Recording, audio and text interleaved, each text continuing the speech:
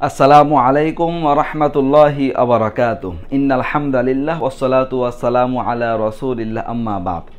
সুপ্রিয় দর্শক, শ্রোতা, ভাই ও বোনেরা, আশা করি সকলে ভালো আছেন। আপনাদের জন্য নতুন আরেকটি ভিডিও নিয়ে চলে এলাম। যারাই এই ভিডিওটি দেখতে আসছেন, প্রথমে সকলের দীর্ঘায়ু ও মঙ্গল কামনা করছি।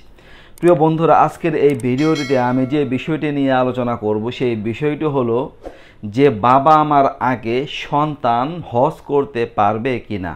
বাবা মা এখনও হজ করেনি, তো এর আগেই সন্তানরা হজ করে নিতে পারবে কিনা এ সম্পর্কে ইসলামিক দৃষ্টিভঙ্গিকে আলোচনা করব, ভালো করে বুঝতে শেষ পর্যন্ত ভিডিওটি শেষ পর্যন্ত দেখুন। আর আমার চ্যানেলটিকে এখনও যারা সাবস্ক্রাইব করেনি দয়া করে সকলে চ্যানেলটিকে সাবস্ক্রাইব করে রাখুন।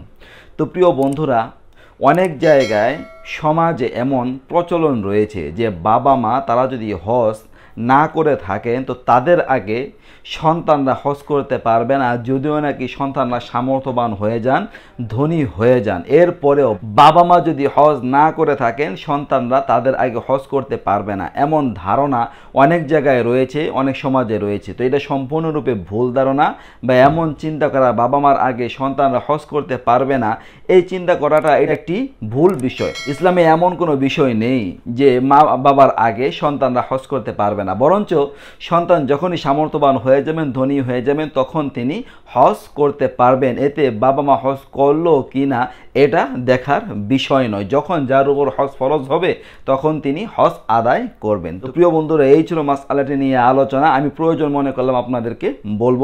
তো কেমন লাগল ভিডিওটি? অবশ্যই কমেন্ট করে লিখে জানাবেন। যদি ভালো লেগে থাকে, লাইক করবেন, বন্ধুদের সাথেও শেয়ার করবেন। আর আমার চ্যানেলটিকে এখনও যারা সাবস্ক্রাইব করেননি, দয়া করে সকলে চ্যানেলটিকে সাবস্ক্রাইব করে রাখবেন। আসসালামু আলাইকুম রহমতুল্লাহি আবরাকাত